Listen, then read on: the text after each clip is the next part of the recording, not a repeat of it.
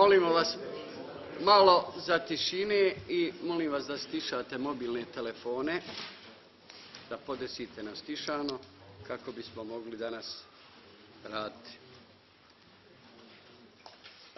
Možemo početi. Dame i gospodo, otvaram 40. redovnu sjednicu Skupštine opštine Rogatica. Na početku još jednom pozdravljam sve prisutne odbornike, načelnika opštine gospodina Radomira Jovičića, zamjenika načelnika gospodina Ozeira Kurtića, rukovodioce organizacijonih jedinica administrativne službe, danas su ovdje prisutne predstavnike LOT tima Višegrad, gospodina Bakmaz Srđana ispred Doma zdravlja podnosioca izvještaja, gospodina Rajaka Milenka podnosioca informacije ispred Boraške organizacije opštine Rogatica, predstavnike sredstava javnog informisanja i sve ostale prisutne. Na osnovu pregleda prisutnosti konstatujem da današnjoj sjednici prisutuje 19 odbornika od 23. Četiri odbornika su opravdala i najavila svoje odsustvo.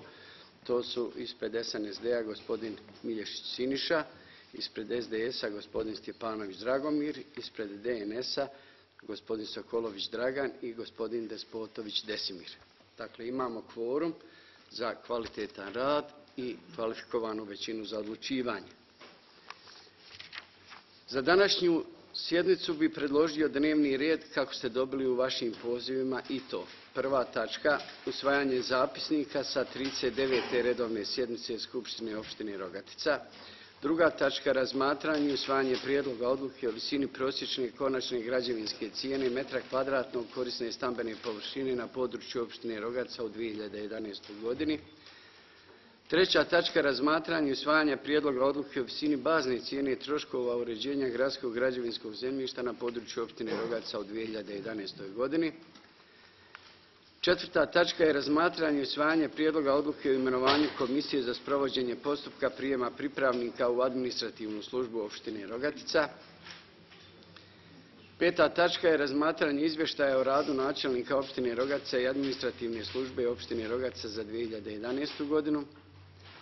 Šesta tačka razmatranje informacije o realizaciji procesa legalizacije bespravno početih ili izgrađenih objekata ili dijelova objekata. Sedma tačka razmatranje informacije o realizaciji projekata sanacije i rekonstrukcije objekata na području opštine Rogatica.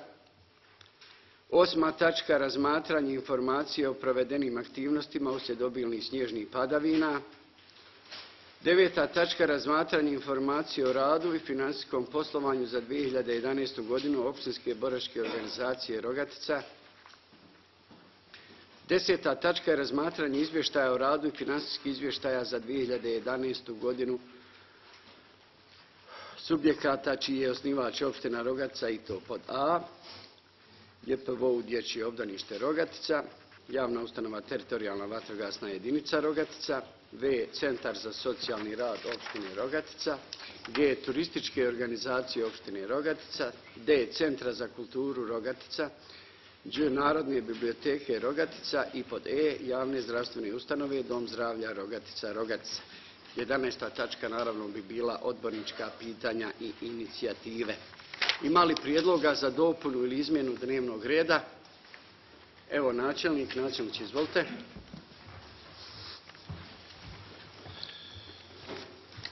Poštovani predsjedniče, potpredsjedniče, uvaženi odbornici, svi ostali prisutni, želim vas prvo pozdraviti. Evo, na prijedlog, prijedlog za dopunu dnevnog reda sa prijedlogom odluke o izmjeni statuta opštine Rogatica zbog potrebe usklađivanja statuta opštine Rogatica sa odredbama zakona o izmjenama i dopunama izbornog zakona Republike Srpske kao i sa uredbom o naseljenim mjestima koje čine područje jedinice lokalne samouprave. Toliko predsjedniče. Hvala načelnik. Ima li još prijedloga za izmjene i dopune? Nema.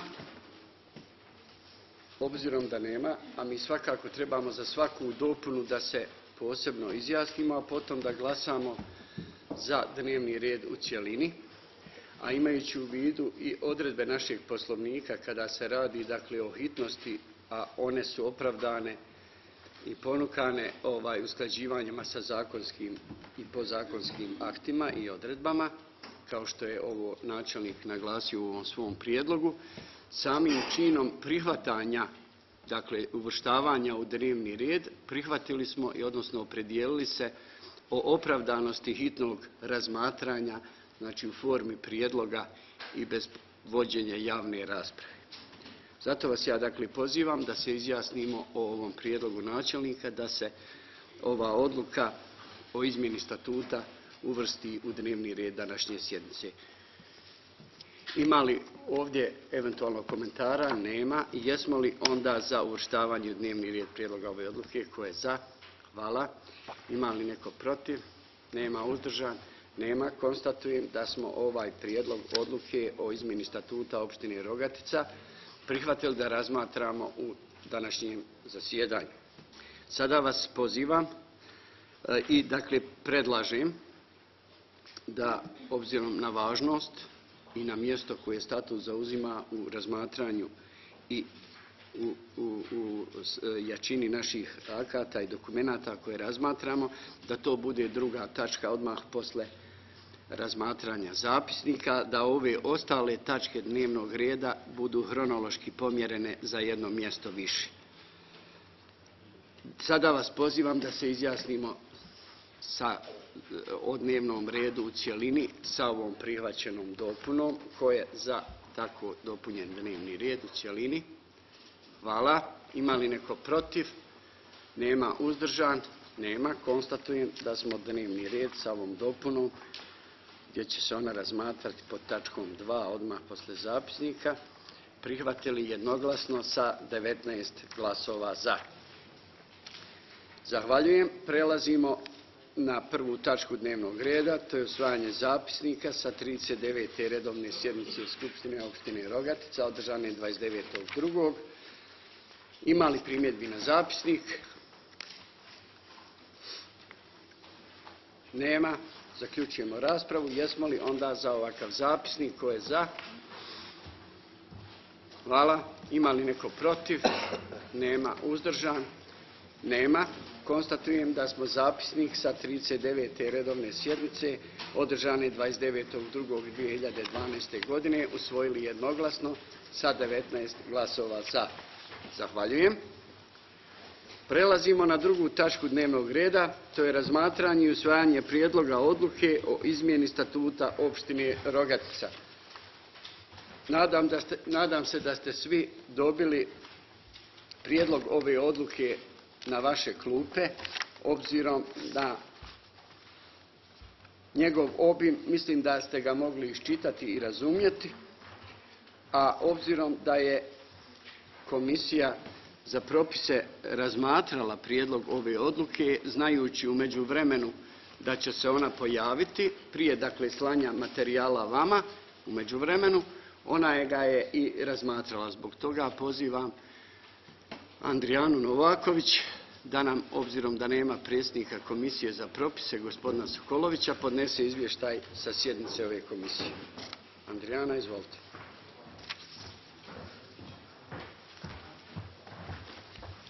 Dan, želim da pozdravim sve prisutne. Izveštaj sa 40. sjednice Komisije za propise. U skladu sa odredbama poslovnika Skupštine opštine Rogatica, prečišćeni tekst službeni glasnik opštine Rogatica broj 9 kroz 06 i 9 kroz 07, Komisija za propise je dana 29.3.2012. godine sa početkom 8.30 časova održala 40. sjednicu komisije. Sjednici komisije su prisustvovali Dragan Sokolović, predsjednik, Andrijana Nešković, zamjenik predsjednika, Tomislav Batinić, član i Luka Glibo, član. Pored članova komisije sjednici je prisustvovao i Ljubiša Tomić, sekretar Skupštine opštine.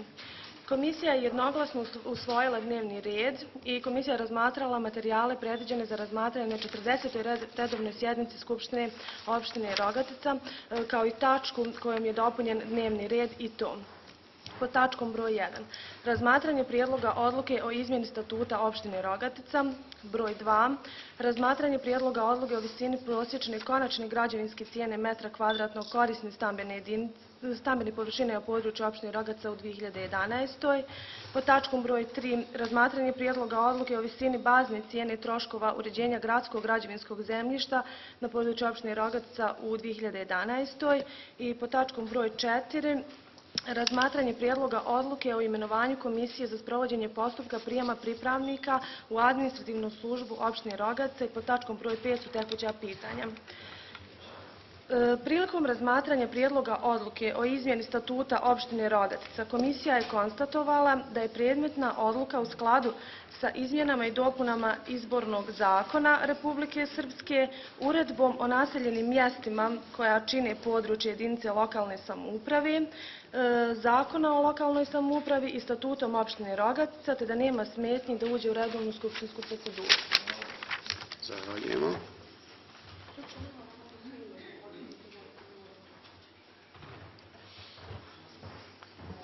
Hvala. Šta kaže?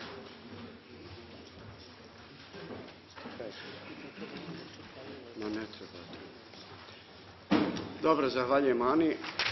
Ona je bila u nedoumici, imala potrebe da čita obrazloženje, naravno da nema svako u obrazloženju akta će to pročitati. Mi smo čuli naravno izvještaj komisije njen stav. E, Ovdje načelnik je dovoljno rekao u svom uvodnom dijelu u smislu predlaganja za uvrštenje u današnji dnevni red prijedloga ove, ove odluke. Ovdje primijetili ste dvije stvari prije nego što otvorimo raspravu.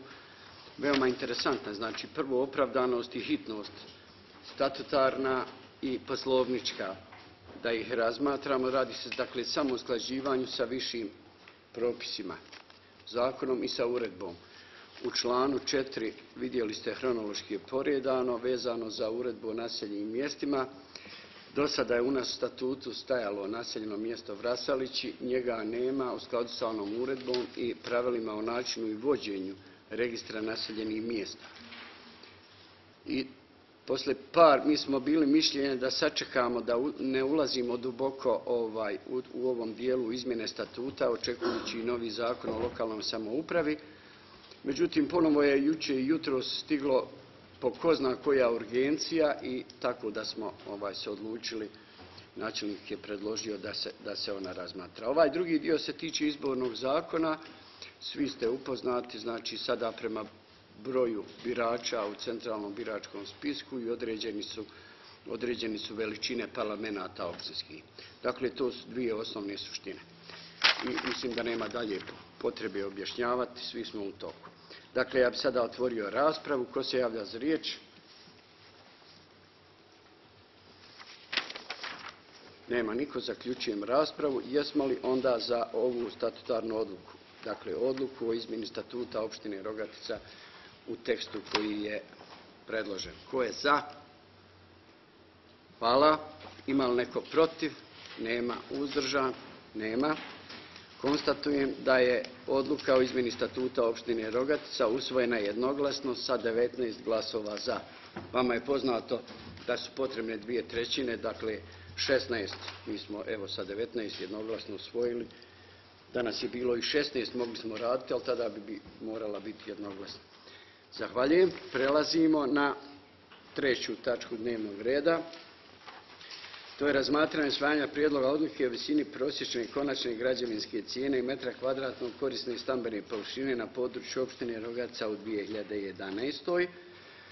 I predlažem da dakle vodimo jedinstvenu raspravu. Sljedeća četvrta, razmatranje i usvajanje prijedloga odluke o visini bazne cijene i troškova uređenja gradskog građevinskog zemljišta na području opštine Rogaca u 2011. Zato što jedna praktično izvire iz druge proističe.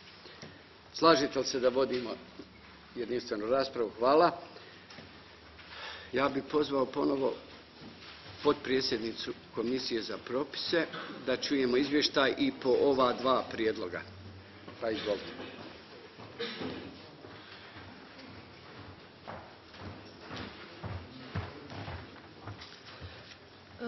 Prilikom razmatranja prijedloga odluke o visini prosječne konačne građevinske cijene metra kvadratnog korisne stambene površine na području opštine Rogatica, komisija je konstatovala da je prijedlog predmetne odluke u skladu sa Zakonom o građevinskom zemljištu Republike Srpske, odlukom o građevinskom zemljištu na području opštine Rogaca i statutom opštine Rogaca da nema smetnji da uđe u redovnu skupštinsku proceduru. I četvrtu ću ja pročitati. Prilikom razmatranja prijedloga odluke o visini bazne cijene troškova uređenja gradskog građevinskog zemljišta na području opštine Rogaca za 2011. Komisija je konstatovala da je prijedlog predmetne odluke u skladu sa Zakonom o građevinskom zemljištu Republike Srpske, odlukom o građevinskom zemljištu na području opštine Rogatica i statutom opštine te da nema smetnje da uđe u redovnu skupštinsku proceduru. Zahvaljujemo potpredsjednici Komisije za propise. Ima li potrebe načelnik Čarkić kao obrađivač ili da otvorimo raspravu? Dobro, hvala. Otvaramo raspravu. Ko se javlja za riječ? Ne javlja niko. Zaključujemo raspravu. Sada vas pozivam da se prvo izjasnimo o prijedlogu odluke o visini prosječne i konačne građevinske cijene. Ko je za ovakvu odluku?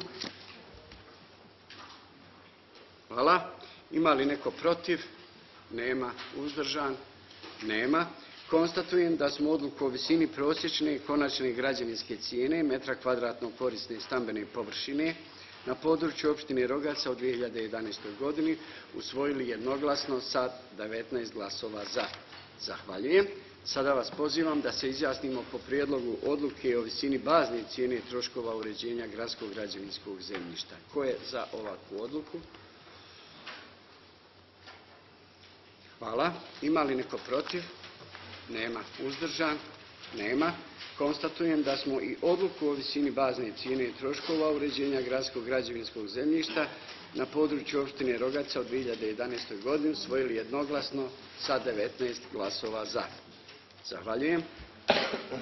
Prelazimo na petu tačku dnevnog reda, to je razmatranje i usvajanje prijedloga odluke o imenovanju Komisije za sprovođenje postupka prijema pripravnika u administrativnu službu opštine Rogac. Ja ću prvo zamoliti predsjednika Komisije za izbor imenovanje, obzirom da je ova materija bliža sada imenovanju, a potom ćemo ponovo za- zamoliti potpredsjednicu Komisije za propise da čujemo za njen izvještaj. Pa gospodine Marković, izvolite da čujemo izvještaj Komisije za izbor imenovanja.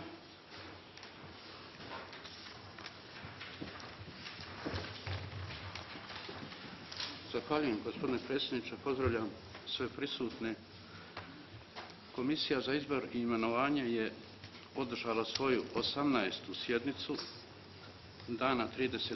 marta ove godine u prisustvu od pet članova prisutno je bilo četiri.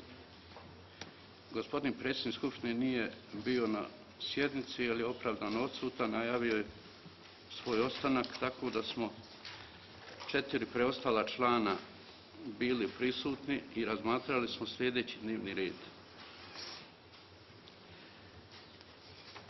Prva tačka je bila razmatranje i usvajanje prijedloga odluke o imenovanju Komisije za sprovođenje postupka prijema pripravnika u administrativnu službu opštine Rogatica i pod dva je bilo tekuća pitanja. Pod tačkom 1, a koja glasi odluka o imenovanju Komisije za sprovođenje postupka prijema 12 pripravnika u administrativnu službu opštine Rogatica, pa je prijedlog bio komisija, komisija naravno ovaj prijedlog i prihvatila uz određene konsultacije, primjedbe, rasprave i na kraju zaključak je bio da se u komisiju imenuju pod jedan Kurtić Uzer predsjednik, pod dva Aleksandar Bojović član, pod tri Andrijana Novaković-Nešković član, četiri Gospava Đerić član i pet Ljubiša Tomić član. Komisija iz prethodnog stava ili člana ima zadata da sprovede postupak prijema 12 pripravnika u administrativnu službu opštine Rogaca, a u skladu sa odredbama zakona o lokalnoj samoupravi. Dakle, tačka je i prijedlog kandidata usvojen jednoglasno i po tačkom dva tekuća pitanja nije bilo naročitih pitanja koja bi zavrijedila ovde pažnju na Skupštini. tako da su ovih pet članova kao prijedlog Skupštine na usvajanje dati. Hvala. Zahvaljujem gospodinu Markoviću. Sada bih zamolio Andrijanu Novaković da čujemo izvještaj Komisije za propise. Prilikom razmatranja prijedloga odluke o imenovanju Komisije za sprovođenje postupka prijema pripravnika u administrativnu službu opštine Rogatica, komisija je konstatovala da je predmetna odluka u skladu sa zakonom o lokalnoj samoupravi, statutom opštine Rogatica i odlukom o raspisivanju konkursa za prijem 12 pripravnika u administrativnu službu opštine Rogatica, te da nema smetnje da uđe u redovnu skupštinsku proceduru. Zahvaljujemo gospodinu Novaković. Evo, čuli smo izvještaje obje komisije. Ima li potrebe ovdje neko ispred resornih odjeljenja ili načelnik? Sada je da otvorimo raspravu. Ako nema, onda otvaramo raspravu. Ko se javlja za riječ? Uvaženi odbornik Luka Glibo. Izvolite.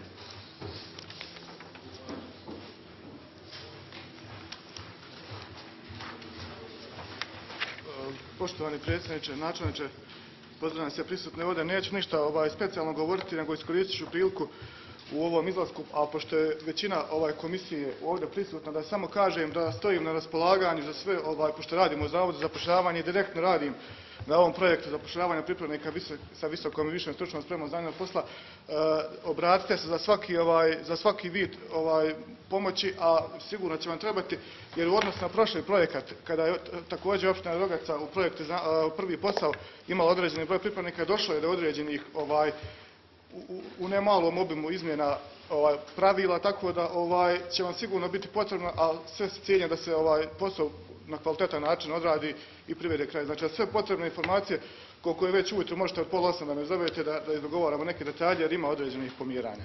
Hvala. Zahvaljujem. Vjerovatno se uklapa u ovi naših 12 koje... E, to. Dobro, hvala, hvala.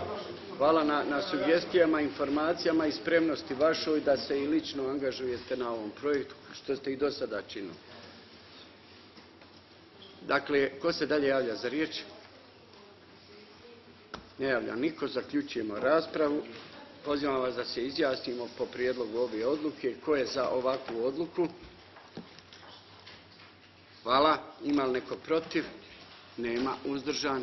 Jedan. Konstatujem da smo odluku o imenovanju Komisije za sprovođenje postupka prijema 12 pripravnika u administrativnu službu opštine Rogatica usvojili većinom glasova sa 18 glasova za i jednim glasom uzdržan.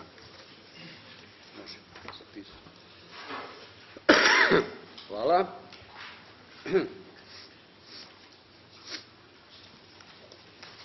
Ja sam sada u dilemi da da li da vas zamolim da promijenimo redoslijed, možda ovu tačku 6 i 7, to je razmatranje izvještaja o radu načelnika, da možda stavimo ispred ovih, a da sada razmotrimo ova informacija o procesu legalizacije bespravno početih i sanacije objekata. Ako se slažete, jer ovaj izvještaj o radu načelnika bit će neminovno naslonjen na ove aktivnosti dole provedene oko ovog onog. To je moja ovako viđenja, vi se opredijelite kako hoćete. Ako vam je svejedno, onda idemo kako smo i usvojili. Prelazimo na tačku 6, to je razmatranje izvještaja o radu načelnika opštine Rogatica i administrativne službe opštine Rogatica za 2011. godinu. Nadam se da ste svi dobili ovaj izvještaj. Želi li načelnik sada uvodna izlaganja? Načelniče, izvolite.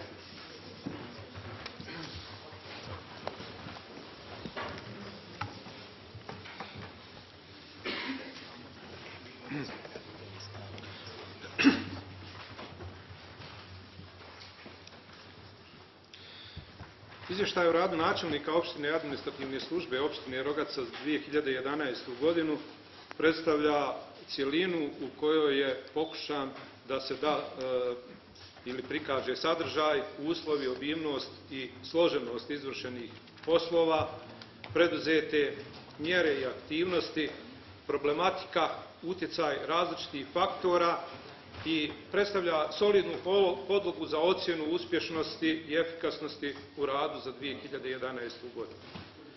Program rada načelnika za 2011. godinu je bio dobra osnova i njima su definisana pitanja, smjernice djelovanja usmjerene uglavnom na pitanja kao što su izvršenje budžeta opštine Rogaca za 2011. godinu, zatim priprema za donošenje i izvršenje odluka i zaključaka Skupštine opštine Rogatica, finalizacija i ostvarenje ciljeva iz strateškog plana razvoja opštine Rogaca za period 2004-2010 i donošenje strateškog plana razvoja opštine Rogaca za period 2011-2015 kroz realizaciju plana kapitalnih investicija i drugih projekata definisanih programa. Na početku naglasio bih i osvrnuo se na dobru saradnju sa institucijama Republike Srpske, Bosne i Hercegovine i drugih, a posebno sa vladom Republike Srpske, čiji je predsjednik u dva navrata prošle godine bio u radnoj posjeti Rogatici, zajedno sa resornim ministrima, dolazak tih ministara, evo da kažem, po različitim pitanjima i bez predsjednika, i da je prvi put u Rogatici prošle godine održana sjednica vlade. E, 2011. godina otpočela je sa finalizacijom projekta i uselenjem 31 porodice poginulih bo- boraca i ratnih vojnih invalida u stambene jedinice, a kraj godine je dočekan sa konačnim dogovorom onoga što je danas već realnost i realizacija, a to je realizacija projekta vraćanja akcionarskog društva Stara Gora u sastav javnog preduzeća Šume Republike Srpske, šumskog gazdinstva Sjemeć, Rogaca, čime je sačuvana imovina i zaposlenost 129 radnika ovog akcionarskog društva. I zaista želim da iskažem zadovoljstvo i mislim da je to, da kažemo, najbitniji i najznačajniji projekat koji je prošle godine odrađen, urađen i evo na neki način plodovi realizacije tog projekta se osjećaju ove godine. Istakao bih i posjetu ambasadora Sjedinje američke države, država i Austrije. U prošloj godini njihov doprinos realizacija projekta stambenog zbrinjavanja socijalno ugroženih lica sa ciljem raspuštanjem kolektivnog centra, kao i humanitarnih organizacija Hilswerk Austrija i Help Njemačka. Ako krenemo kronološki, ako krenemo od izvršenja budžeta za 2011. godinu i osnovnih pokazatelja koji ga prate, a što će naravno biti predmet sljedeće sjednice Skupštine, koristim priliku da vas upoznam sa onim što je najbitnije u tome.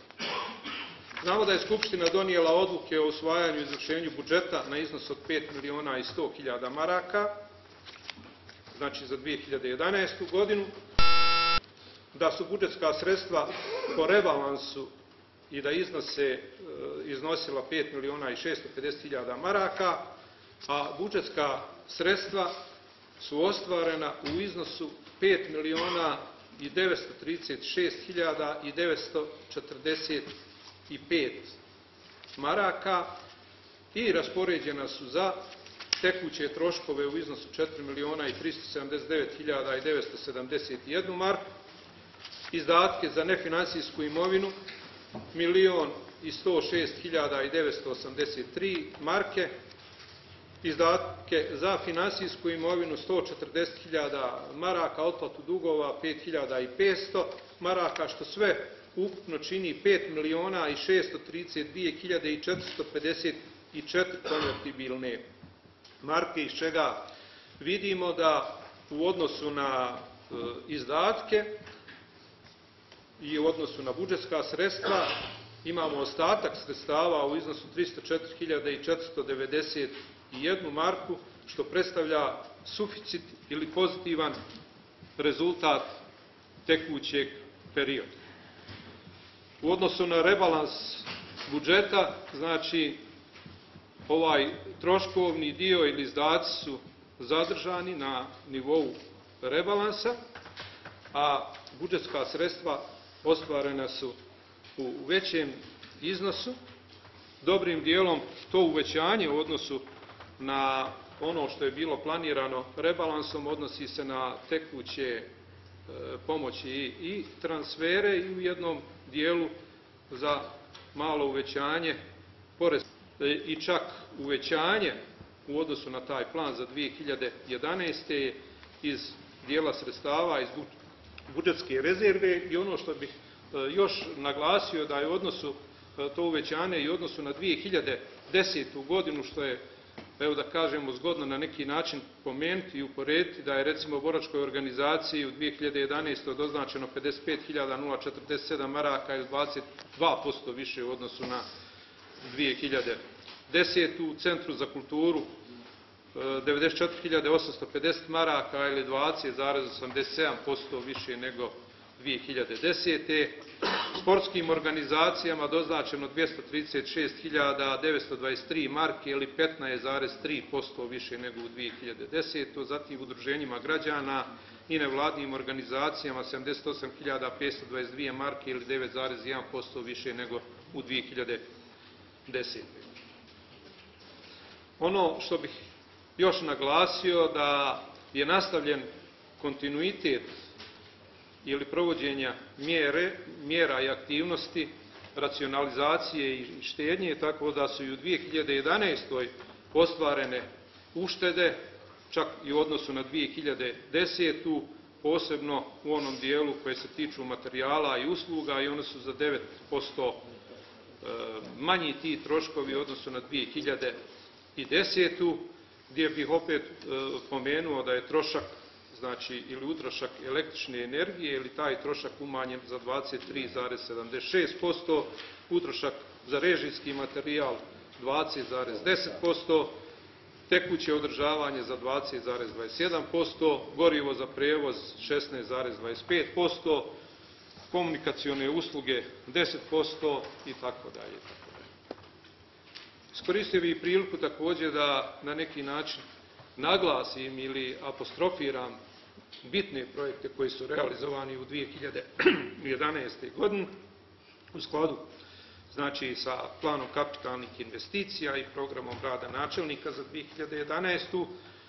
a to su sanacija i rekonstrukcija vodovodnog i kanalizacionog sistema za iznos od 145.684 marke, rekonstrukcija i investiciono održavanje puteva, mostova i trotoara za iznos 400.364 marke, investiciono održavanje objekata u okviru poslovne zone Rotex 24.975 maraka, projekat porodične medicine, znači rekonstrukcija ambulanti doma zdravlja u Rogatici i ambulanti na Borikama, 323.788 maraka, izgradnja mosta u Pješevici 249.385 maraka, nabavka opreme po projektu HELP za 45 projekata u cilju podrške zapošljavanja za iznos 136.908 maraka, kupalište pored sportskog centra druga faza 82.662 marke, izuzimanje zemljišta i izgradnja saobraćajnica u naseljima Rudo i Kotlik za 47.097 maraka, rekonstrukcija i investiciono održavanje objekta osnovne škole, ugradnja kotlova za grijanje, kotlova na pelet, do 31.12.2011. investicija realizovana sa 51.409 maraka, s tim da je nešto posle nove godine mislim da je negdje iznos oko 66.000 maraka i u toku je realizacija, ali priprema za drugu fazu realizacije ovog projekta kojim se priprema izgradnja građevinskog dijela uz samu kotlovnicu. Zatim, kupovina stambenih jedinica za smještaj porodica poginulih boraca i ratnih vojnih invalida.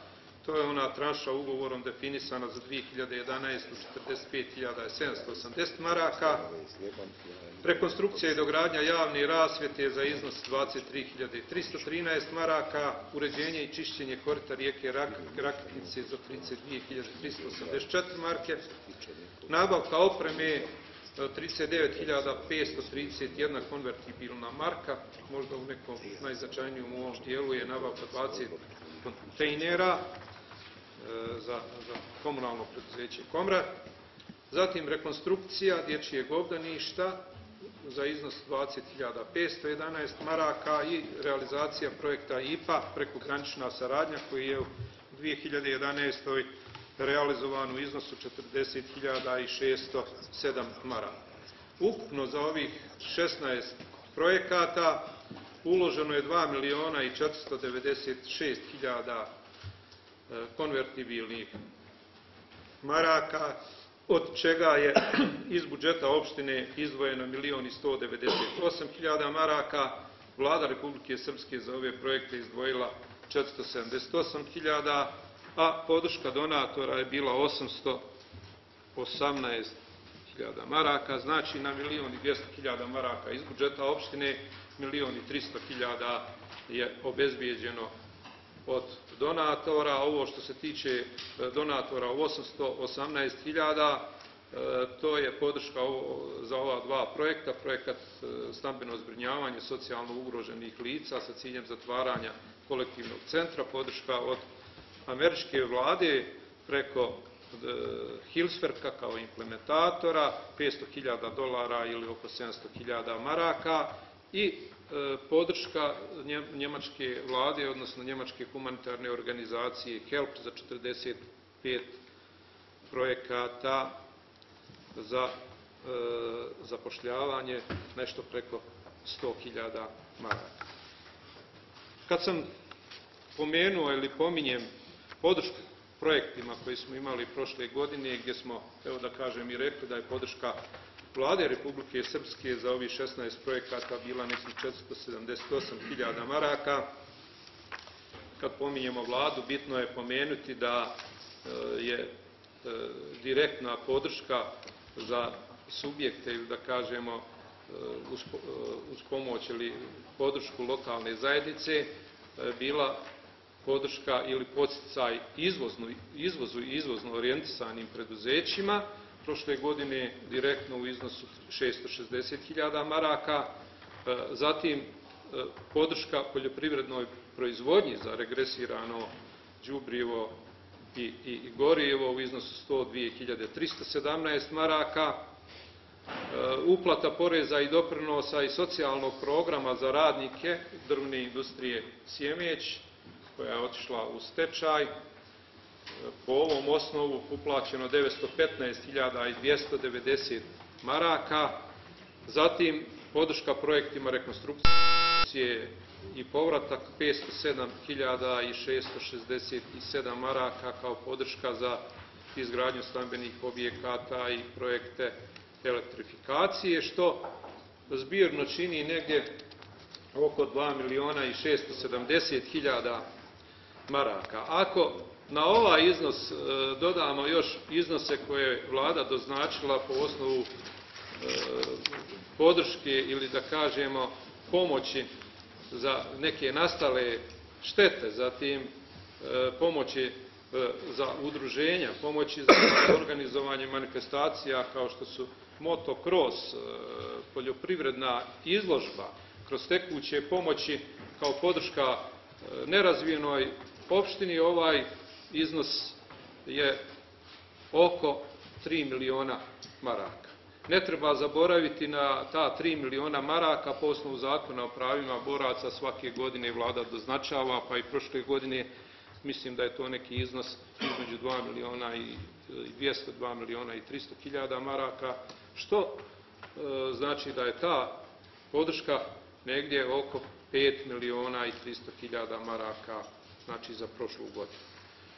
Malo prije sam i pomenuo i, i, podršku, e, da kažem, i ostalih nivoa vlasti.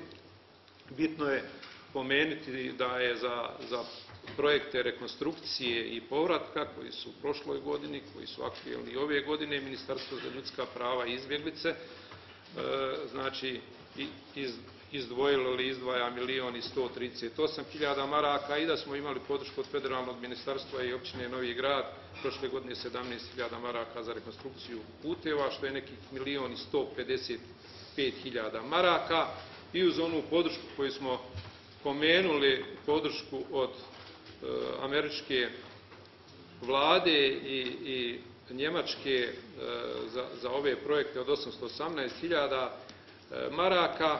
Iz ovoga se može vidjeti da smo praktično prošle godine obezbijedili nešto preko 5 miliona maraka kao podršku projektima, znači sredstava van općinskog budžeta plus onih 2 miliona, 2 miliona i 300 ovaj, po znači, zakonu o pravima boraca. I ovih 5 miliona e, maraka podrške van općinskog budžeta normalno traži i evo da kažem da ja i sa ovog mjesta izrazim zahvalnost svima onima koji su pružili tu podršku.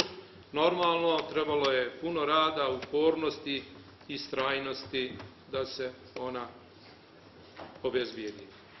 Ako smo sumirajući rezultate za 2010. godinu, da kažemo i sa ove govornice istakli svoje zadovoljstvo postignutim i rekli da će to biti teško ponoviti u nekoj narednoj godini, evo ja lično mogu znači, e, opet poručiti da i sa 2011. barem sa ovim rezultatima koji su evo i vama e, prezentovali, mislim da je bila jednako uspješna kao i 2010.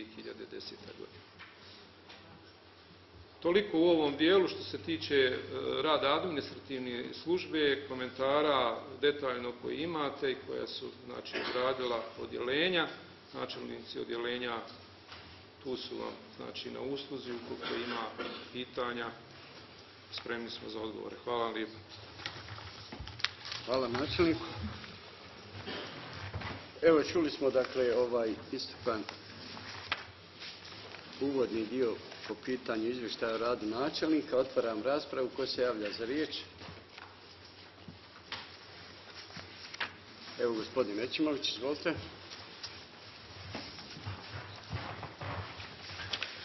Gospodine predsjedniče, gospodine načelniče, gospodo kolege odbornici, svi prisutni, sve vas skupa pozdravljam. Imam potrebu da kažem par riječi o izvještaju načelnika opštine Rogaca za 2011. godinu. U svakom slučaju afirmativno, jedan kompletan izvještaj, sadržajan u smislu kvalitetnih projekata koji su realizovani u 2011. godini.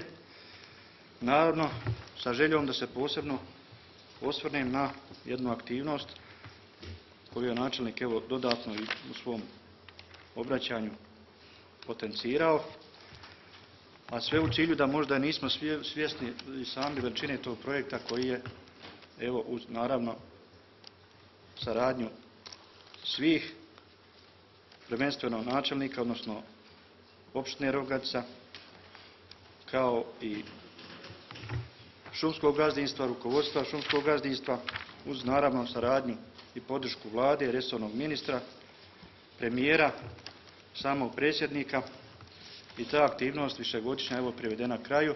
Ja vas mogu izvijestiti da je taj tehnički dio projekta, projekta vraćanja Stare gore AD u sastav šumskog gazdinstva Rogaca, odakle je izdvojen 2000. godine i kaže možda nismo svjesni veličine tog projekta i same ovaj, težinje njegovog provođenja.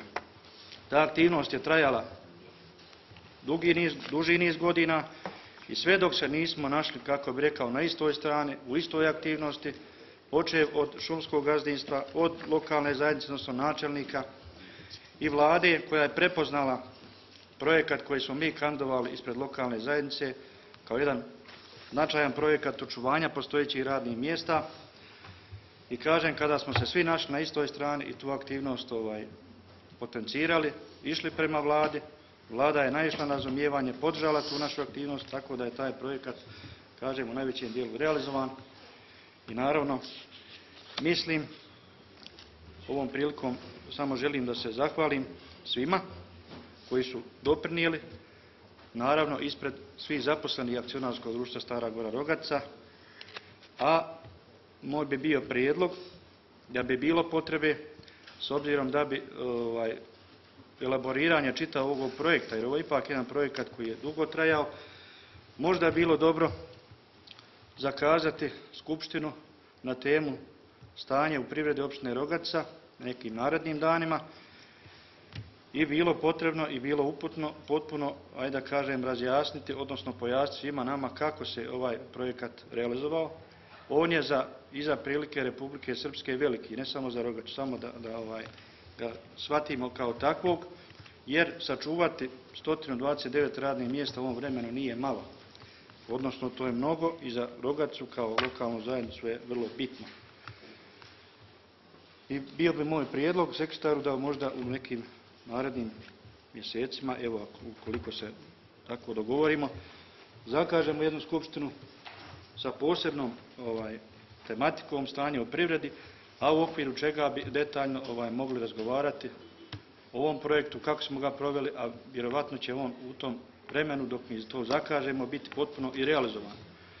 I bilo bi bitno ga promovisati na svaki način zato što je to jedan kvalitetan projekat koji je eto, našoj lokalnoj zajednici značajan u smislu očuvanja postojećih radnih mjesta.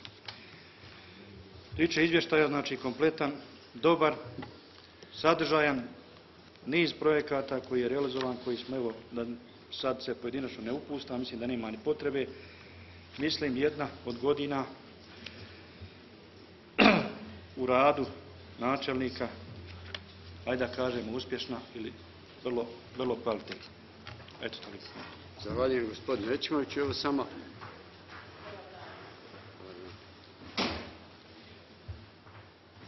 samo dakle u ovom dijelu ovoga prijedloga ja sam ga shvatio više kao inicijativu i razmišljanje za organizovanje jedne tematske sjednice na, na, na temu stanje u privredi, odnosno stanje privrede u opštini Rogatica.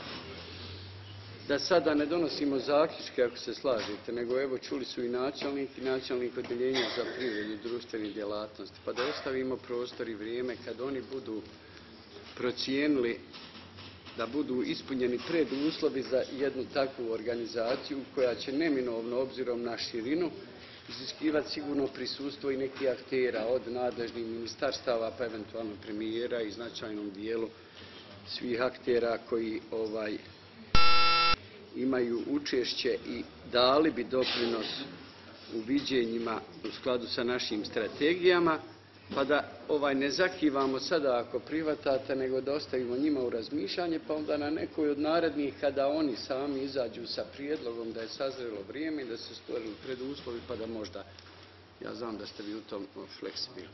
E, hvala u svakom slučaju na ovim sugestijama. Ko se dalje javlja?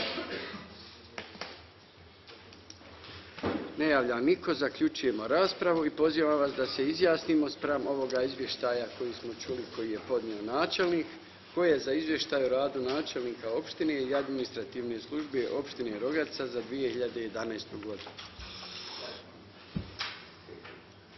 Hvala. Ima li neko protiv? Jedan. Ima li uzdržani? Četiri. Konstatujem da je izvještaj o radu načelnika opštine Rogaca i administrativne službe opštine Rogatica usvojen sa 14 glasova za, jednim glasom protiv i četiri glasa uzdržan. Hvala. Čestitam načelniku i njegovim saradnicima i svim poslenicima u administrativnoj službi na ostvarenim rezultatima i mogu slobodno obećati u ime kolegica i kolega u ovom parlamentu da ćemo i dalje nastaviti davati podršku u njihovom istrajnom radu. Hvala. Prelazimo na sedmu tačku dnevnog reda, a ja predlažem, ukoliko prihvatite, da tačku 7 i 8 spojimo i da vodimo jedinstvenu raspravu, obzirom da se radi informacija o realizaciji procesa legalizacije bespravno početih ili izgrađenih objekata ili dijelova. I ova osma bi bila razmatranje informacije o realizaciji projekata sanacije i rekonstrukcije objekata na području opštine Rogatica. Slažete se? Hvala. Dakle, vodit ćemo jedinstvenu raspravu. Nadam se da ste svi dobili ove informacije. Ima li potrebu obrađivač, odnosno predlagač?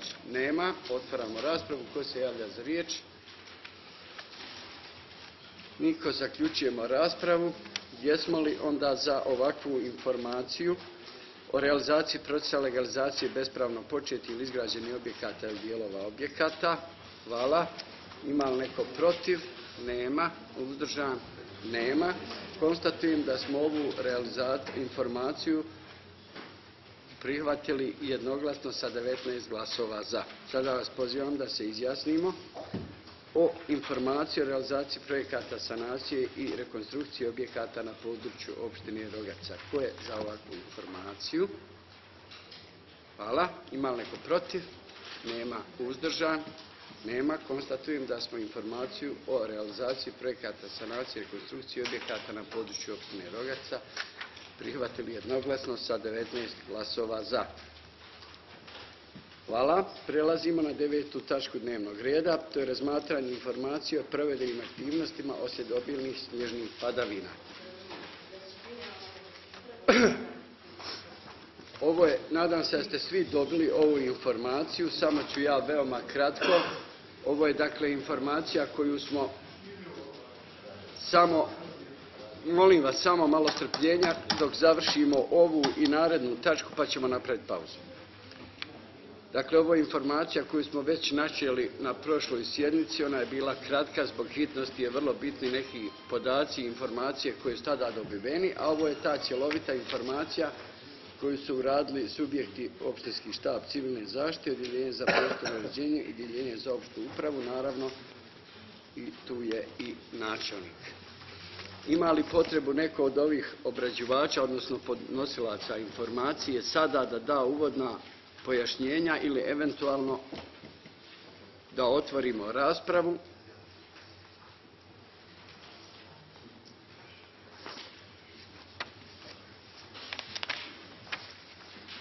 Neće niko, onda otvaramo raspravu. Ko se javlja za riječ?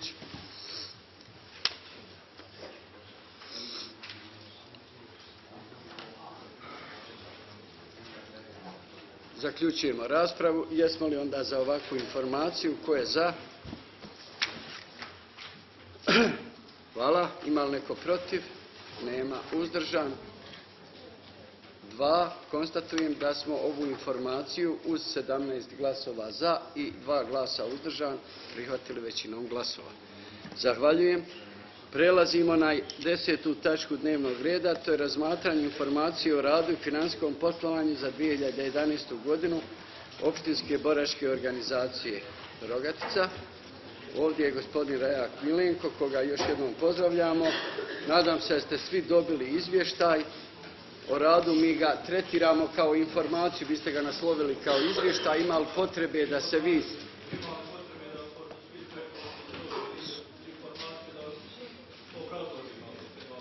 Vi, vi kako želite.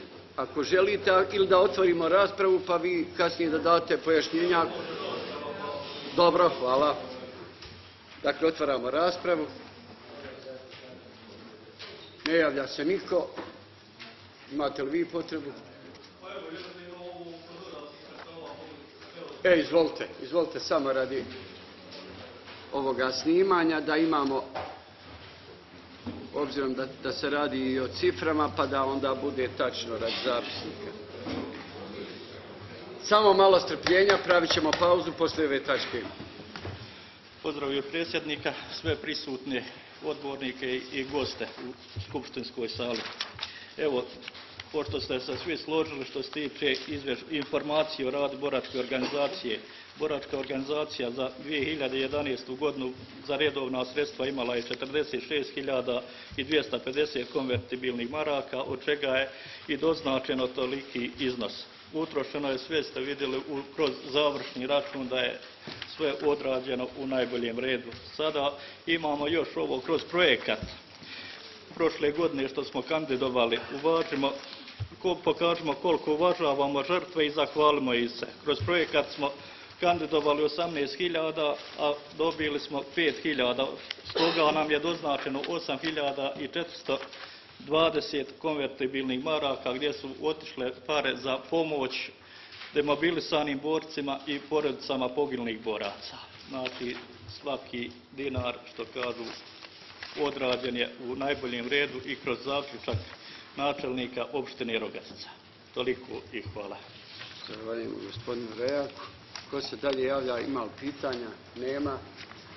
Zahvaljujem. Jesmo li onda za ovu informaciju, mi, mi ga razmatramo kao informaciju, bez obzira što su napisali.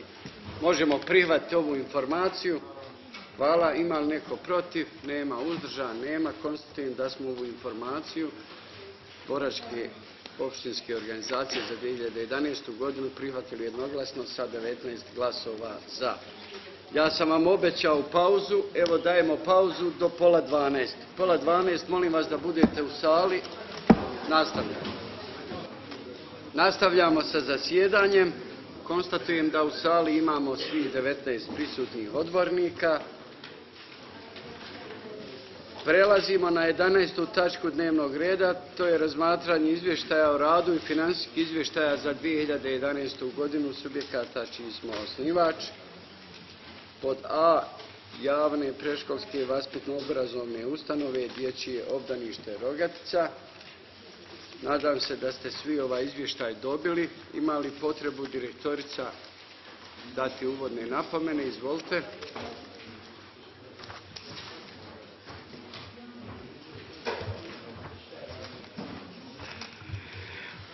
Gospodine predsjedniče i uvaženi odbornici, Izvještaj o financijskim pokazateljima u poslovanju u 2011. godini dati u prilogu izvještaja o radu obdaništa u 2011. Ja ću još nešto da kažem o svom radu i radu ustanove na čijem sam čelu, a posebno onome što nije obuhvaćeno izvještajem. Uz veliku podršku osnivača i dobiti od djelatnosti uspjeli smo mnogo toga da uradimo i popravimo rad u obdaništu. Iako je teška materijalna situacija i nezaposlenost, uspjeli smo da prikupimo dovoljan broj djeci. Iako imamo razumijevanje prema roditeljima, djeca i dalje boravi u najjeftinijem boravku igraonci. Uz veliki rad, štijednju, smanjenu cijenu rada, uradili smo dosta. U martu 2011. organizovali smo preškolsku nastavu gdje je boravilo 58 djeci. Finansijski nas je podržalo Ministarstvo za vaspitanje i obrazovanje Republike Srpske. Od naših sredstava uspjela sam da pošaljem na, na dvodnevni seminar na Jakornu jednog vaspitača. Svim seminarima organizovanim za direktore sam prisustvovala, a svi su organizovani daleko od Rogatice, Trebinje, Prijedor, Mrkonjić, grad Banja Luka. Isfinansirani su od vlasti sredstava. Svi radnici dječjeg obdaništa su osigurani. Zgrada i djeca koja boravi u obdaništu. U 2011. smo imali više inspekcija. Svi su nalazi uredni. U 2011. 30. septembra smo dobili očekivana sredstva od predsjednika Republike Srpske u iznosu od 30.000 km. Ta sredstva su nam dobro došla da ustanovu obnovimo. Ugradili smo nove prozore, uveli video nadzor, zamijenili dotrejale radijatore i nabavili igračke, podove prekrili novim medstonima. Tako je u obdaništu toplo i udobno, a znamo da je ova zima bila tako hladna i duga. Kuhinju smo obogatili novim posuđem. Pored toga nabavili smo novi veliki televizor, novo ozvučenje, a prozore smo ukrasili novim venecijanerima i zamijenili izblijedjeli i oštećene zavjese. Nabavili smo i dosta didaktičkog materijala, čime smo obradovali našu djecu i vaspitače. Nekad je neko predlagao da se obdanište ogradi visokom ogradom zbog odraslih djece koja su ulazila u dvorište, a često pravili štetu, pila se na krov. Poslije uvođenja video nadzora toga je sve manje ili gotovo da nema. Veliki problem nam pravi neodgovorni pojedinci sugrađani koji sa terasa najvjerovatnije noću bacaju kese sa smećem, a često i smeće bez kesa u dvorište obdaništa. Naš radnik na održavanju objekta svako jutro to kupi, čisti, a znamo da je primljen na četiri sata. Još da napomenem da obdanište nema nikakvih dugovanja. Hvala. Zahvaljujemo direktorici. Prije nego otvorimo javnu raspravu, da pitam načelnika podjeljenja za financije i za privredu društvene djelatnosti spram ovog izvještaja prihvata se, znači daje se sugestija da se on prihvati. Otvaramo raspravu. Tko se javlja za riječ? Ne javlja niko. Evo dakle čuli smo ove ovaj, dakle, prečutno se odbornici slažu sa ovim konstatacijama dva načelnika odjeljenja za privredu i odjeljenja za financije. Sada vas pozivam da se izjasnimo spravo ovoga izvještaja o radu i financijskom izvještaju javne predškolske vaspitno-obrazovne ustanove. Ko je za ovakav izvještaj? Hvala. Ima li neko protiv? Nema. Uzdržan? Dva, tri, četiri. Konstatujem da smo sa 15 glasova za i četiri glasa uzdržan prihvatili izvještaj o radu i financijski izvještaj ustanove javna predškolska vaspitno obrazovna ustanova Dječje obdanište Rogatice. Zahvaljujem vama, direktorici čestitam i želim još bolje rezultate u narednom periodu, a mi kao Skupština stajat ćemo uvijek uz vas i nastojati da svojim djelovanjem doprinesemo kvalitetnim uslugama koje pružate, sve za dobrobit naše djece. Zahvaljujem. Prelazimo na sljedeći izvještaj, to je izvještaj o radu za 2011. i financijski izvještaj o poslovanju javne ustanove teritorijalna vatrogasna jedinica Rogatica. Želi li starješina dati uvodno izlaganje? Izvolite. Izađite. Obzirom da snimamo,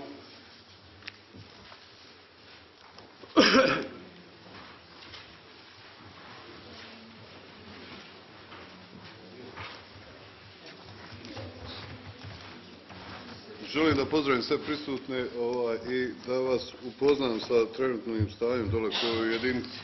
Na pretprošloj sjednici ja sam dao informaciju koju ste vi prihvatili, to je da su se stekli uslovi zakonski da se u javnoj ustavi teritorijalna vatrogasna jedinica otvori stečaj.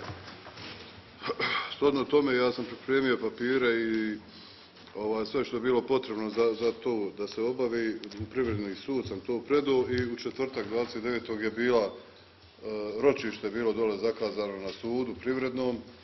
Određen je stečajni upravnik, dobio je nalog i on treba da dođe u jedinicu da sagleda tu situaciju komplet svu, da se zakaže novo ročište i na tom ročištu novom će se znati dalja sudbina u kom smjeru će to ići. Ovaj, ja se nadam jedino da to neće trajati dugo. Ovaj, reću vam i to da smo dole zadnju platu dobili 3.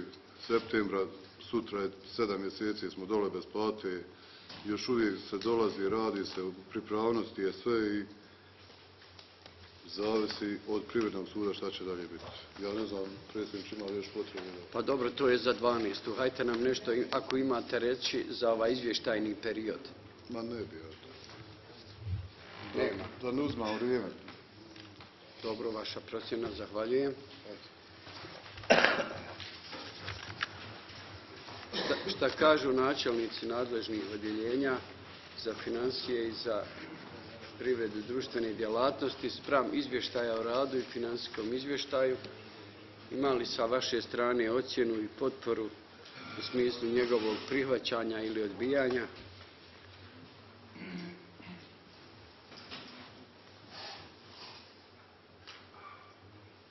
Ili da otvorimo raspravu pa da eventualno vi date neka viđenja. Hvala. Evo, otvaramo raspravu pa ćemo kasnije čuti načelnike odjeljenja.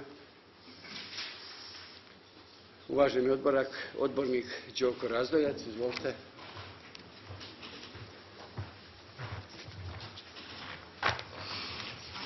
Gospodine predsjedniče, gospodine načelniče, kolege odbornici, cijenjeni direktori. Ja želim da kažem nekoliko e, riječi, odnosno da iskažem generalno primjedbu za ove izvještaje. Izvještaj izuzev Centra za socijalni rad i donekle izvještaj Doma zdravlja nemaju izgrađen metodološki pristup, nisu sistematizovane tematske cjeline i nisu prilagođeni ovome vidu izvještavanja, odnosno ovim potrebama koje su nama kao osnivaču neophodne. Izvještaj treba da bude kratak, sažet, jasan, konkretan i bez nekih nepotrebnih e, detalja, a očito da u ovim nekim izvještajima toga je bilo. Kad je u pitanju ova tačka dnevnog reda oko izvještaja vatrogasne teritorijalne jedinice, tu želim da kažem, pošto se u ovome subjektu ne zna pravni status, klub odbornika PDP-a se neće izjašnjavati po ovoj tački dnevnog reda, odnosno mi ćemo da budemo izdržani. Uzdržani. Hvala. Mislio sam ovo uvaženom odborniku, samo e, ne, ne odnosi se na njega, već na sve nas koji učestvujemo u ovome ovaj, parlamentarnom životu. Dakle, ne, rad, ne, ne raspravlja se o statusu ustanova danas, nego izvještajni period, to je 2011. godina. Znači, temelji se na sveukupnom radu i financijskim pokazateljima kako su poslovali. Jer to smo dužni po zakonu o sistemu javnih službi da raspravljamo. E u tom dijelu svakako moramo, nezaobilazno je da učestvujemo. Jer svako naše davanje za ili osporavanje tih izvještaja, ono prouzrokuje određene radnje. Da li financijske prirode, da li prirode u smislu intervencije, da izglasamo nepovjerenje rukovodiocima ili tako dalje. Dakle, zato bi ja zamolio uvažene odbornike da ipak se ne uzdrže od diskusija, da u svakom slučaju konstruktivne diskusije su svakako neophodne, jer da ukažu na neke propuste ako ih negdje ima, ili pak da istaknemo neke pozitivne poslovne poteze koje su uradili ovi subjekti, što će biti pozitivna iskustva i, i za praksu drugih subjekata. Ko se dalje javlja za riječ? Evo sada zamolio načelnike da čujemo njihov stav spram ovog izvještaja. Pa evo načelnik Rosić.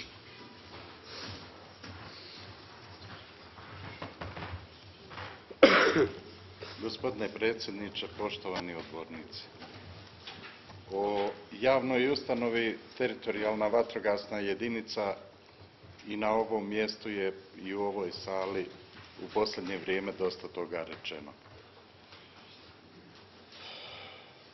Ja podržavam gospodina odbornika Đoku sa primjedbom da izvještaji u cjelini trebaju biti standardizovaniji, efikasniji za onoga koji ih čita.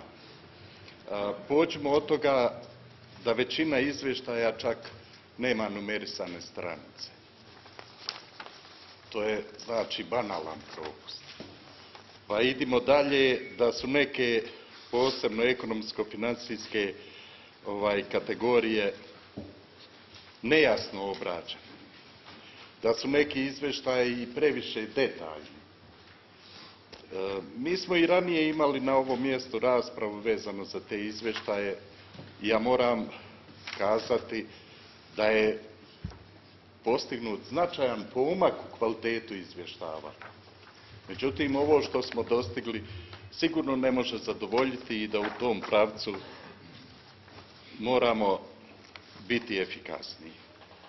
Kada je konkretno javna ustanova TVJ u pitanju, moramo konstatovati da je to jedna od ustanova u kojoj je izostala i kadrovska i financijska konsolidacija. Većina drugih ustanova i kroz ovakve izvještaje to potvrđuje. Prisjetimo se prije tri godine kada je većina tih izvještaja sadržavalo višak rashoda nad prihodima, sadržavalo neizmirene obaveze, kašnjenje u isplati plata i tako dalje. Na sreću sada toga nema u većini ustanova, međutim u TVJ u kojoj je otvoren predstečajni postupak imamo iskazan višak prihoda nad rashodima i to je konstatovano u iznosu od 71.104 konvertibilne marke, a da sudske presude u iznosu od 105.802 konvertibilne marke nisu uključene u završni račun.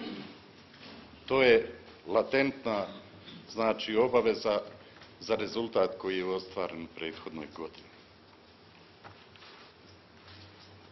u situaciji kada ustanova nije izvršila financijsku konsolidaciju, kada ima višak, višak rashoda nad prihodima, stvorene neizmirene obaveze, onda je jasno izvući zaključak. Pa šta sugerišete, da prihvatimo ili ne prihvatimo ovaj Što se tiče korektnosti izvještaja, mislim da se on može prihvatiti. A ovdje je da se cijeni, jer to smo nekoliko, u nekoliko navrata i upozoravali, da ustanove trebaju da ostvare programske ciljeve i funkcije radi kojih su osnovani i da se uklope u, plan sredstava koji im je budžetom namijenjen, koji je planiran. Ja ne bih uzeo sebi za pravo da ja sada neke dalje, dalje prijedloge ovaj konstruišem. Zahvaljujem. Dobro, zahvaljujem načelniku. Pa iz ovoga ima li još diskutanata? Evo daj, morat ćemo ipak ovako u plenumu da formulišemo zaključak. Ovaj dio komentara, odnosno nalaza načelnika odjeljenja za privredu i društvene djelatnosti u svakom e, slučaju možemo konstatovati da uglavnom govori na ovu latentnu bojaznost neiskazanog značajnog iznosa sredstava koji će biti praktično detektovan samim provođenjem predstečajnog i stečajnog postupka u, u ustanovi. Mi naravno ovdje nismo ulazili, nemamo ni internog kontrolora, da imamo i njegov izvještaj što smo ranijim odlukama i zaključcima Skupštine rekli da će svim ovim izvještajima prilikom njihovog razmatranja da će predvoditi izvještaj interne naše revizije, što u ovom slučaju nemamo ga. Nemamo, dakle, taj, to, taj nalaz internog revizora. Moje je mišljenje da trebamo ovo samo primiti k znanju i, dakle, jer nismo u mogućnosti da se izjasnimo i da ocijenimo rad da li zadovoljava, da li, da li su ostvareni oni ciljevi i funkcija zbog koje je i osnovana ova ustanova, pogotovo imajući u vidu njegovo poslovanje što se tiče financija, a što je samim tim imalo i odraz na sveukupnost spremnosti ovaj jedinice. Naravno, u svemu tome najviši kolateral jesu, jesu oni uposlenici koji nisu zarad takvog eh, odnosa imali uredna i redovna mjesečna primanja.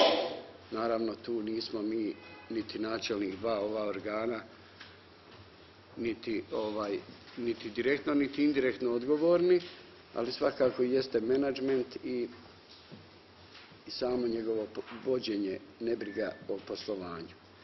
Zbog toga bi ja predložio da samo primimo k znanju i da ćemo sačekati ove nalaze i da, i da ćemo onda po tome još jednom razmutriti jer ćemo sigurno u ovome prestečajnom postupku bar onako kako to i predviđa, evo sekretar je tu, da on će da nam iz pravne strane pomogne, u svakako u korespondenciji u dogovoru i sa načelnikom i sa skupštinom predlagati određene mjere i rješenja, jel tako, u samom postupku, sprem kojih ćemo se mi onda, onda odrediti.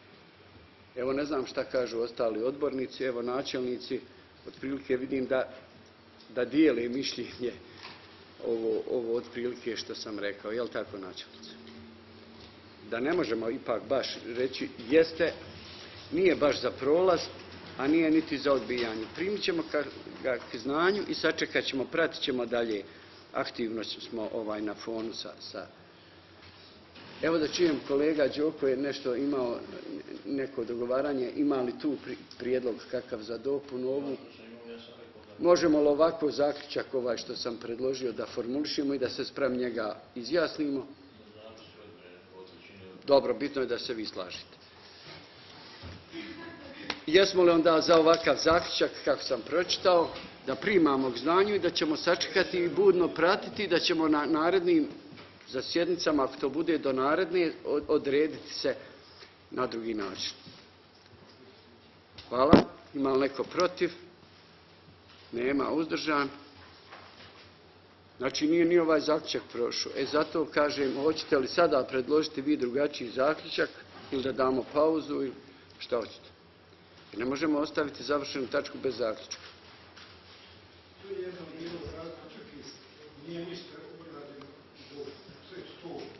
Pa, da, pa zato dajte, dajte drugi zaključak. Evo ja sam predložio ovaj, nije dobio potrebnu većinu. Pa evo, vidjeli ste šta je starješina podnio za zaključak. Ja sam pokušao da, da, da vratim stvar na period izvještajni, ali...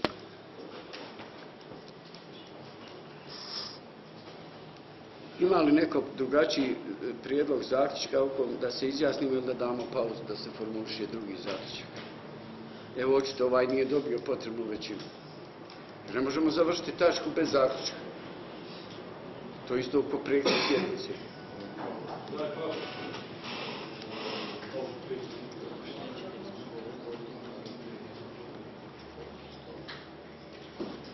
I evo da vas pitam, da ubrzamo to koncipiranje zaključka. Da damo kraću pauzu ukoliko e, svaki od predsjednika klubova smatra da će klub podržati njegovo učešće u zajedničkom ovamo kolegiju. Da održimo kraći kolegij pet minuta, da se dogovorimo, koncipiramo, izađemo s tim i da se pokušamo izjasniti. Evo, molim vas, svi vi u vašim klubovima se sada konsultujte i recite mi da damo pauzu pet minuta, a da, a da ne izlazimo iz sale ostali, a mi ćemo se predsjednici klubova vratiti sa saopštenjem i, i predložiti zaključak.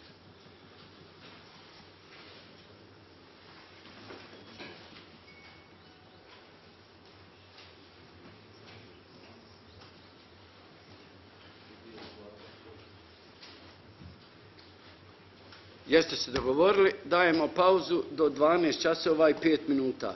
Prijedsjednici klubova, odnosno članovi kolegija, kod mene u kancelariju, ja vas zamolio ostale da imate strpljenja, za 5 minuta se vraćam. Dame i gospodo, nastavljamo sa zasjedanjem, izvinjavamo se sa, za ovo kašnjenje sa sjednice kolegija Skupštine. U sali konstatujemo ima 18 odbornika. Gospodin Bojat je morao ovaj, zbog neodložnih obaveza da nas napusti, tako dakle imamo 18 odbornika.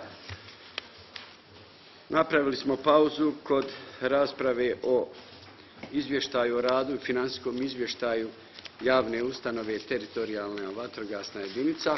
Imali smo jedan zaključak, posle izjašnjavanja nije dobio potrebnu većinu, potom se kolegi je formulisao jedan drugi zaključak, jednoglasan zaključak, a on glasi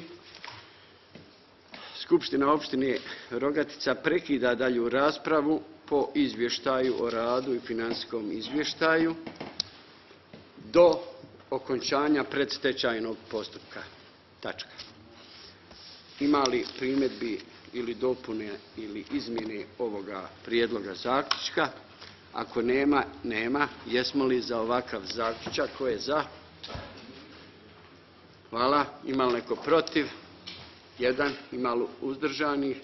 Nema. Konstatujem da smo sa 17 glasova za i jednim glasom protiv usvojili ovaj zaključak kojim prekidamo dalju raspravu po izvještaju do okončanja predstečajnog postupka. Zahvaljujem. Prelazimo na razmatranje sljedećeg izvještaja o radu financijskog izvještaja, to je Centar za socijalni rad opštine Rogatica. Nadam se da ste svi dobili i pročitali ovaj izvještaj. Da li želi direktorica dati uvodne napomene? Dobro, dobro znači da otvorimo raspravu. Hvala. Otvaram raspravu po izvještaju. Ko se javlja za riječ?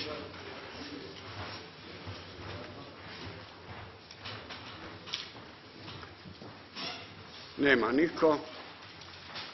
Direktorica nema potrebu, jel? Dobro, hvala. Jesmo li onda za ovakav izvještaj centra ko je za? Hvala. Ima li neko protiv? Nema. Uzdržan?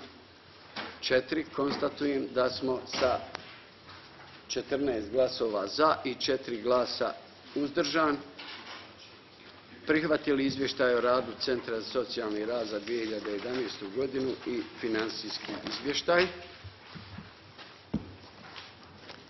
Prelazimo na razmatranje izvještaja o radu financijskog izvještaja za 2011. turističke organizacije opštine Rogatica. Nadam se da ste i ovaj izvještaj svi dobili i pročitali. Da li želi direktor uvodne? Dobro, hvala. Otvaramo raspravu. Ko se javlja za riječ? Ne javlja niko. Zaključujem raspravu.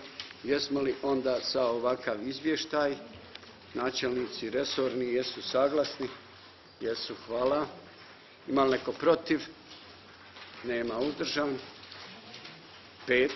Konstatujem da smo sa 13 glasova za i 5 glasova uzdržan prihvatili izvještaj o radu i financijski izvještaj turističke organizacije opštine Rogatica. Hvala. Prelazimo na razmatranje izvještaja o radu i financijskog izvještaja Centra za kulturu Rogatica. Nadam se da ste i ovaj izvještaj svi dobili i pročitali. Želi li direktorica dati uvodne napomene ili da otvorimo raspravu? Hvala. Otvaramo raspravu. Ko se javlja za riječ? Imaju potrebu načelnici uvaženi? Nemaju. Možemo ići sa izvještajima. Dobro, hvala. Jesmo li onda za izvještaj o radu Centra za kulturu i financijski izvještaj? Ko je za? Hvala. Ima li neko protiv? Nema. Uzdržan? Pet. Konstatujem da smo sa 13 glasova za i 5 glasova uzdržan prihvatili izvještaj o radu Centra za kulturu Rogatica i financijski izvještaj. Hvala. Prelazimo na razmatranje izvještaja o radu i financijski izvještaj Narodne biblioteke Rogatica za 2011. godinu. Nadam se da ste svi dobili ovaj izvještaj. Da li želi direktor dati uvodne napomene? Dobro, hvala. Dakle, otvaramo raspravu. Ko se javlja za riječ? Ne javlja niko. Ima li potrebu neko od načelnika resornih? Nema. Možemo ići s ovim izvještajem. Hvala. Direktore, vi nemate šta. Dobro. Dobro, hvala. Jesmo li onda za ovakav izvještaj Narodne biblioteke? Ko je za? Hvala. Ima li neko protiv? Nema. Uzdržan? Pet. Konstatujem da smo izvještaj o radu za 2011. i financijski izvještaj za istu godinu Narodne biblioteke Rogaca prihvatili sa 13 glasova za i 5 glasova uzdržan. Hvala. Prelazimo na razmatranje izvještaja o radu i financijskog izvještaja javne zdravstvene ustanove Dom zdravlja Rogatica Rogatica. Nadam se da ste i ovaj izvještaj svi dobili i pročitali. Da li želi ovdje gospodin ispred Doma zdravlja dati uvodne napomene? Izvolite.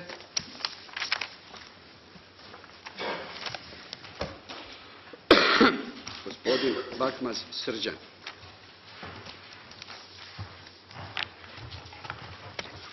Gospodine predsjedniče, gospodine načelniče, gospodo odbornici, želim prvo da vas pozdravim i da kažem nekoliko riječi o izvještaju i o samom poslovanju javne zdravstvene ustanove Doma zdravlja Rogatica. Javna zdravstvena ustanova Dom zdravlja Rogatica osnovana je odlukom Skupštine opštine Rogatica sa osnovnim ciljem da pruži primarnu zdravstvenu zaštitu svim stanovnicima opštine Rogatica i ostalim građanima znači e, u hitnim medicinskim slučajevima. E, U toku 2011. godine e, priveden je kraju jedan reformni, reformski proces, a to je jačanje primarnog zdravstvenog sektora koji provodi vlada Republike Srpske, Ministarstvo zdravlja i znači jedinica za koordinaciju projekata. Opština Rogaca je bila sufinansijer tog projekta i u okviru projekta je e, završeno opremanje pet ambulanti porodične medicine, znači koje su detaljno rekonstruisane i opremljene modernom e, zdravstvenom opremom. Pored toga, obnovljena je i rekonstruisana znači, terenska ambulanta na Borikama, koja će da služi u narednom periodu znači svim gore stanovnicima koje je potrebno.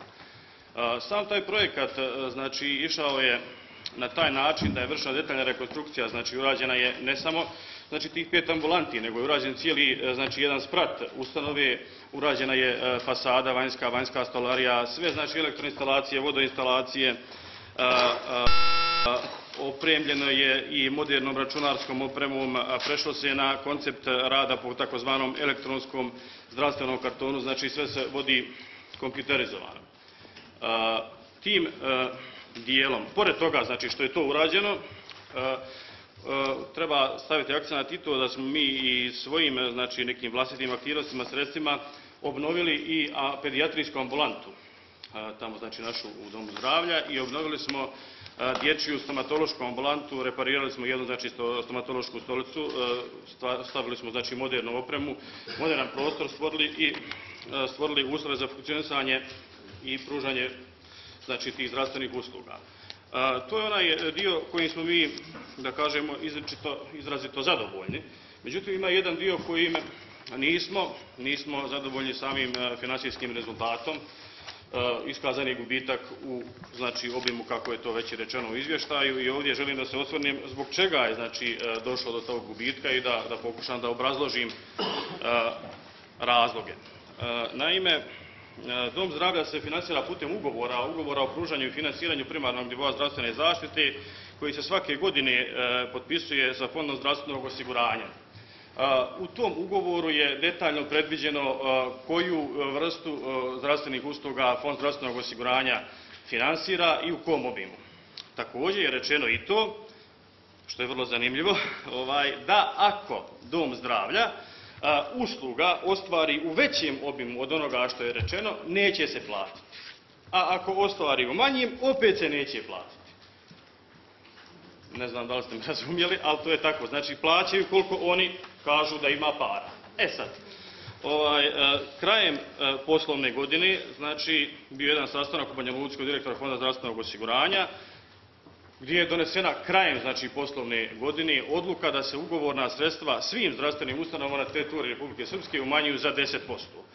I to je automatski znači smanjilo prihodovnu stranu i proizvelo- gubitak za taj iznos koji je naveden.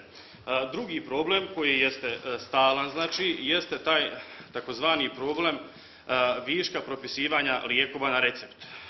Kako dolazi do toga? Fond zdravstvenog osiguranja kaže koliko znači stanovnicima opštine Rogatica pripada sredstava za izdavanje lijeko, za lijekove na recept. Ako propišemo više lijekova, on nam jednostavno neće to da plati. Smanje nam finansijska sredstva. A istovremeno zakonom smo obavezani da ne smijemo nikome uskladiti pravo na recept. I znači samim tim mi smo dovedeni u jednu bezlaznu situaciju, imali smo znači 144.000 maraka tih lijekova na recept propisanih više, a da su nam ruke vezane da ne smijemo znači nikoga vratiti, da ne smijemo reći ne možeš dobiti pravo na, na, na lijek. E, I pored svega ovoga, da smo mi neka druga djelatnost koja nije ovoliko specifična, mi bismo ovaj, mogli recimo da nekim komercijalnim uslugama koje smo u, na, u prošlom periodu i tekako znači, imali i da pokrijemo taj višak znači, rashoda putem nekih naših usluga koji bismo mi ostvarivali. Međutim, odlukama Fonda zdravstvenog osiguranja opet znači nam je zabranjeno da se bavimo takvom vrstom djelatnosti. Ne smijemo, znači, da dovodimo specijaliste konsultante, jednostavno došla je takva odluka, da zarađujemo pare, ne smijemo i to je to. Mislim da je to ona suština koju smo rekli i isto imamo, znači, ono u izvještaju podvučeno, da smo mi ostvarili 416.000 maraka za usluga u vrijednosti koje niko nije platio. Znači, 416.000 maraka usluga koje niko nije platio, da nam je to plaćeno, podvučeno je, naš rezultat bi bio takav da bi bilo 170.000 maraka u plusu, ovako kad nam niko ne plaća, a mi ne možemo nikoga da vratimo, situacija je takva kakva jest. Ja bih imao toliko, ako neko ima neko Evo ja se izvinjavam gospodinu Bakmazu prije nego što neko od kolega, meni je to Da li je možda vama smetnja ona naša odluka o osnivanju tamo one šifre djelatnosti? Imate li vi dovoljno prostora u smislu za obavljanje nekih koje fond neće osporiti djelatnosti, a mogle bi u značajnoj mjeri eventualno neke prihode da vam obezbijede iz kojih bi mogli da se kompenziraju ovi, ova prekoračenja što kažete u receptima. Sa esen- Radi se o esencijalnoj jel, listi lijekova, pa preko... E. preko te liste.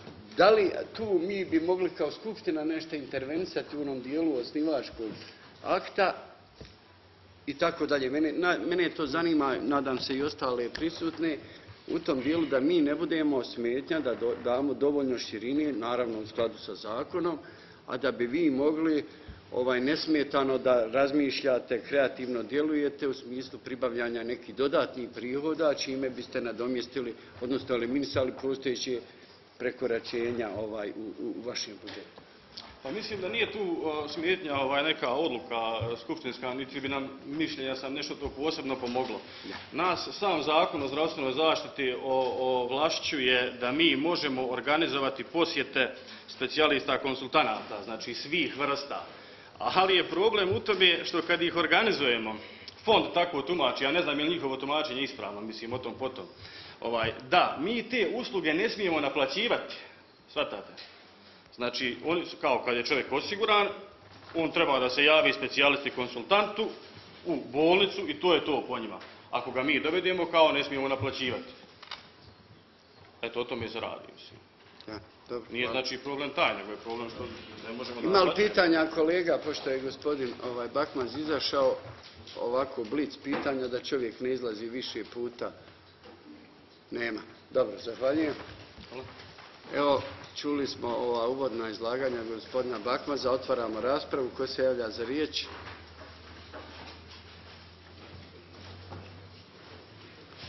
Ne javlja se niko. Imaju potrebu načelnici? Ne. Možemo li ovaj izvještaj podržati? Možemo. Dobro, zahvaljujem. Ako nema više, zaključujemo raspravu. Jesmo li onda za ovakav izvještaj u radu i financijski izvještaj? Ko je za? Hvala. Ima li neko protiv? Nema. Uzdržan? Pet. Konstatujem da smo sa 13 glasova za i 5 glasova uzdržan prihvatili izvještaj u radu i financijski izvještaj Doma zdravlja Rogaca za 2011. godinu. Ovim smo završili razmatranje izvještaja. Prelazimo na tačku 12. To su odbornička pitanja inicijative. Nadam se da ste dobili, četiri su bila odgovora na odbornička pitanja. Odbornici će naravno iskazati svoje zadovoljstvo i nezadovoljstvo. Ima li novi pitanja? Je li nova pitanja? Uvaženi odbornik Đoko Razbiljac, izvolite. Hvala gospodine predsjedniče. Evo ja želim ovdje jednu poruku i jednu inicijativu da predočim, pročitam ili kažem. Molim za malo strpljenja, ali neće biti dugo. Poznato vam je da se već duže vrijeme vodi aktivnost na razvoj putne mreže u Republici Srpskoj. S tim u vezi želim da vas podsjetim da je Narodna skupština Republike Srpske u septembru 2007. godine usvojila prostorni plan Republike Srpske do 2015. godine. U poglavlju 8 koje se odnosi na infrastrukturu drumskog saobraćaja u trećoj fazi od 2010. do 2015. to je znači sad, neđe na polovini. Planiran je između ostalog i početak izgradnje brzog puta Lukavica, Pale, Sokolac, Rogaca i Višegrad. Nadam se da me nećete shvatiti pogrešno, ali želio bih da podsjetim na neke činjenice. Nacrtom prostornog plana navedena trasa bila je e, tretirana kao istočno Sarajevo, Višegrad, Srbija. E, smatrao sam da to nije dobro rješenje, pa sam uložio amandman koji sam tražio da se navedena trasa u prostornom planu definiše kao brzi put Lukavica, Pale, Sokolac, Rogatica, ponavljam ponovo, Rogaca, Višegrad, Srbija. Narodna skupština Republike Srpske usvojila je predloženi amandman čime je on postao e, sastavni dio prostornog plana Republike Srpske do 2015. godine. U prilog ovog dopisa dostavljam tekst priloženog amandmana kao i izvode iz prostornog plana. Zašto je ovo, gospodo, važno? Ovih dana svjedoci smo završne faze pregovora vlade Republike Srpske sa Europskom bankom za obnovu i razvoj i Europskim investicionim e, bankama oko donošenja konačne odluke o kreditima za izgradnju autoputeva i brzih puteva u Republici Srpskoj. U tom kontekstu vlada je jasno kazala da je jedan od prioritetnih pravaca u Republici Srpskoj izgradnja brzog puta na relaciji Sarajevo, Pale, Mesić i Ustiprača Višegrad, odnosno izbjegava ovu komunikaciju preko Rogatice. Također, ovih dana imali smo priliku da čujemo slične izjave vladinih zvaničnika. Treba li da podsjetim da se radi o grubom kršenju prostornog plana Republike Srpske do 2015. godine, zapravo prostornim planom planirana je izgradnja brzog puta na relaciji Lukavica, Pale, Sokolac, Rogaca, Višegrad. Da bi se na vrijeme preduprijetile negativne posljedice za opštinu Rogacu, ja, gospodina načelnika, nas, gospodu odbornike, molim da se ovaj prijedlog, ova preporuka, ova inicijativa nađe na Narodnoj skupštini ovoga opštine Rogaca i da vas zamolim da damo potporu i da podržimo ovu inicijativu i ovu podršku. Hvala vam. Zahvaljujem odborniku Razdoljicu. Dakle, ovo je inicijativa, koliko sam shvatio, jel? Jeste inicijativa, molim vas, o ovoj inicijativi i drugim inicijativama možete da na web stranici gospodin Zoran Đelić, poslanik ove opštine, možete detaljnije da se informišete o svim ovim... Ovu ćete vi, kolega, u inicijativu pisanom formi dostaviti stručnu službu. Dobro, hvala. Ima li još odborničkih pitanja, inicijativa? Nema.